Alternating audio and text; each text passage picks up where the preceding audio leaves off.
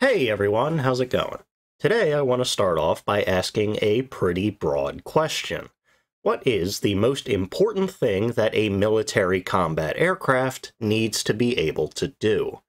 It's a question that really has no one specific answer, as it changes according to what kind of aircraft we're talking about.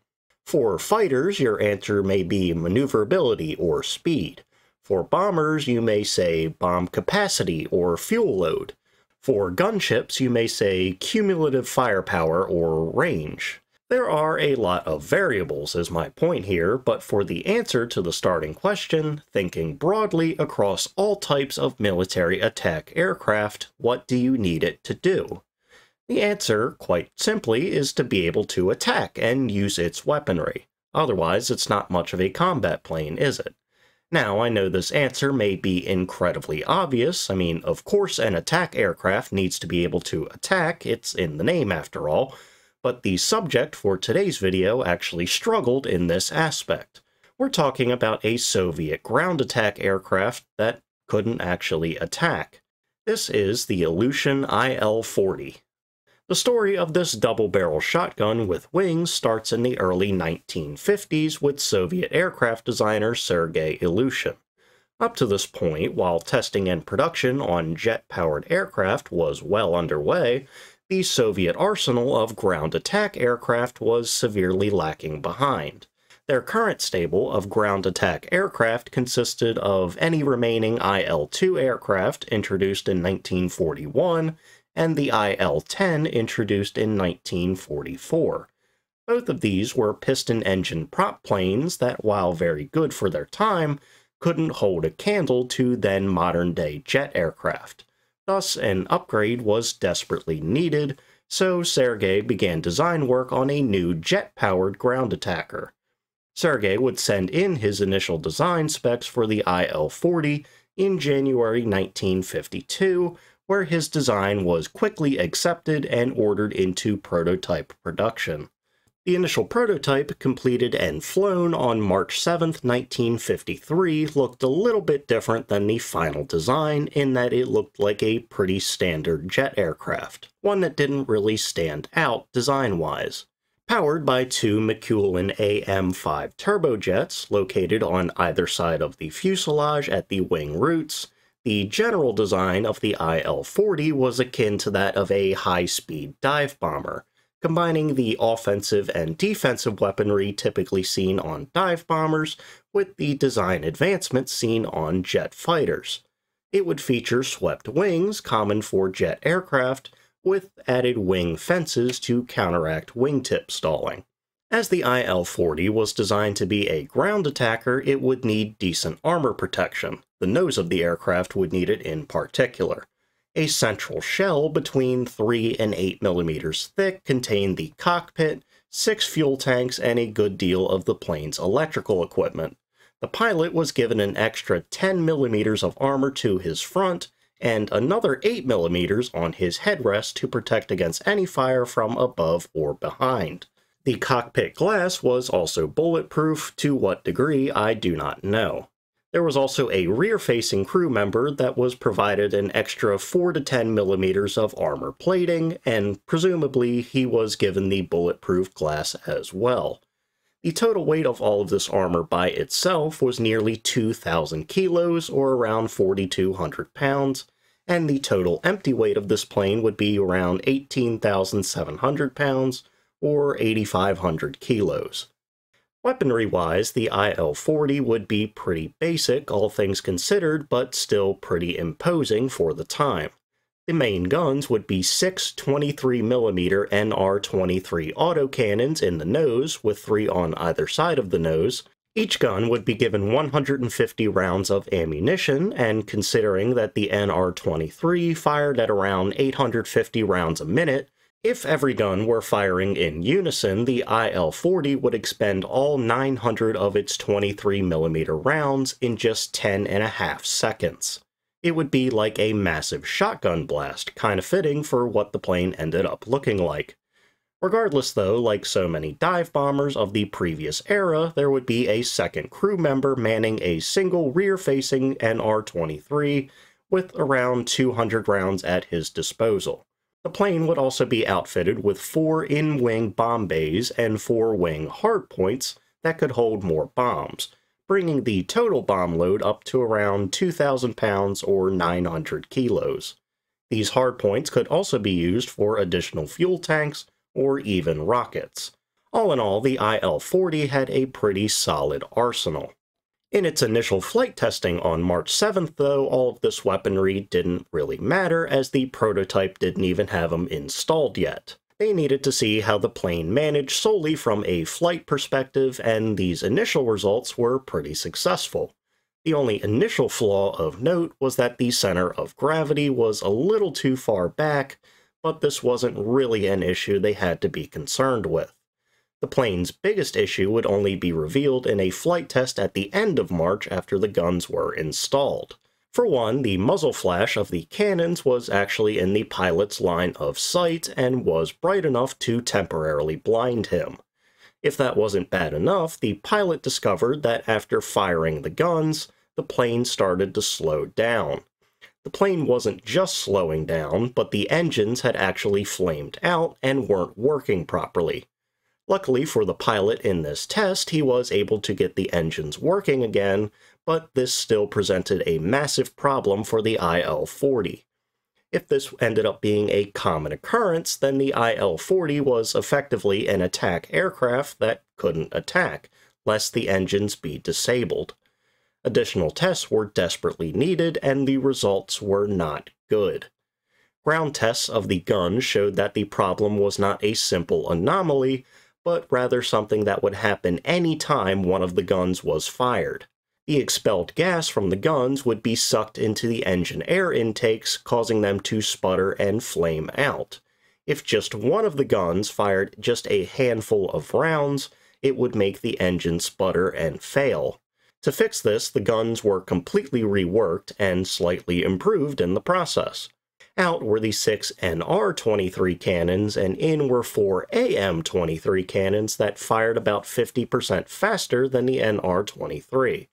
To compensate, each gun was given a 50% boost in ammo, up to 225 rounds per gun. Additionally, the guns were moved and installed in the very tip of the nose and blast deflectors were installed that, in theory, would keep any expelled gases away from the engine air intakes. These new installations immediately had their own issue, where gas would accumulate with the spent rounds and it led to small explosions.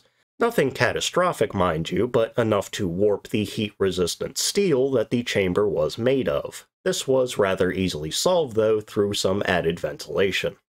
Now, as this engine issue had to be remedied no matter what, it ended up delaying the IL-40's testing by the Soviet Air Force by almost a year. Still, the IL-40 began state flight testing in early 1954, and the results were actually quite encouraging from a flight perspective. They found that the plane handled quite well, and when compared to the IL-10, it was faster, had a better rate of climb, had more firepower, had stronger weaponry, the IL-40 simply outclassed the IL-10 across the board. Additionally, the IL-40 was used in mock combat tests against the MiG-15 and MiG-17 fighters, and actually held its own against them, despite not being designed for air-to-air -air combat. And yet, despite these successes, the whole gun engine problem actually remained, although it wasn't as bad as before. Now, the problem only surfaced when the guns were firing when the plane was in a side slip, as shown here. While this was certainly less of an issue, it still needed to be remedied, and Sergei decided to fix it with a rather unique double-barrel solution, and this new version of the IL-40 would be dubbed the IL-40P. With the engine air intakes now at the very front of the plane, the guns were moved under the fuselage behind the front wheel. Now, the gas from the guns couldn't possibly be taken into the engine air intakes, so the issue was solved, just in a rather strange-looking way. This change was made alongside several others. The engines would be upgraded in the meantime to an advanced version of the AM-5, called the RD-9V that brought the top speed up to 617 miles an hour. The bomb load would also be increased to around 3,100 pounds or 1,400 kilos, and the pilot was given a rear-view mirror. No idea if he got one of those green air fresheners. The first flight test of this new model on February 14, 1955 was a complete success. All previous issues regarding engine flameout had been resolved, and as a result, the Soviet government placed an order for 40 IL-40Ps. However, a little over a year later, on April 13, 1956, after just five of the 40 had been made, production was ceased and the IL-40 program was abruptly cancelled. This cancellation, however, had basically nothing to do with the IL-40. Instead, it had more to do with a change in Soviet military doctrine as a whole. New military doctrine went away from using aircraft for close air support of ground troops, and instead they decided that they would use nuclear weaponry to fulfill that role. This was the Cold War, after all, and nukes were in vogue, so this move does make sense from that perspective. Also, it's not as if the US wasn't also considering and testing small-scale tactical nuclear weapons. And normally, this would be where the story of the IL-40 would end. The military doctrine changed, it wasn't needed anymore, and the plane went away. However, the IL-40 would make a surprise appearance over a decade later in 1967. At that time, it seemed like the Soviet military changed their doctrine again and wanted to go back to using more conventional ground attack aircraft. Obviously, a new, technologically updated design was needed, and design requests went out to Soviet designers and manufacturers. Ilyushin decided to bring back the old IL-40 design and gave it some then modern-day upgrades. Unfortunately for them, their design would be rejected in favor of the eventual winner, the Su-25, but Ilyushin decided to continue with the project regardless, and on September 25, 1982, their prototype, now dubbed the IL-102, would fly for the first time. It would embark on hundreds of test flights before its engines finally gave out around two years later, and the project would be abandoned until eight years later in 1992 when the IL-102 made a surprise appearance at an airshow in Moscow, with Ilyushin apparently trying to drum up interest for their design. There were no buyers, and the IL-102 project ended there. And with the end of the IL-102, thus officially ends the story of the IL-40, just a short 36 years after the project initially ended. In several regards, the IL-40 was a pretty fascinating plane. From not being able to use its weaponry, to being a double-barrel shotgun with wings, to then being unexpectedly revived after the initial project died. If the Soviets never altered their military doctrine and didn't remove the need for ground attack planes, it's likely that the IL-40 would have enjoyed a pretty decent career.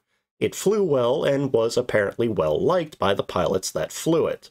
The only thing that really would have held it back was the comparatively lackluster weaponry, at least when compared to later ground attack aircraft. Still, it is likely that variants and upgrades would have been made, so I think if the Soviets didn't have that doctrine change, some variants of the IL-40 might have stuck around to this day. But in all honesty, who knows? I'm just making a bit of an educated guess. And with that, I think it's probably a good time to go ahead and end for today.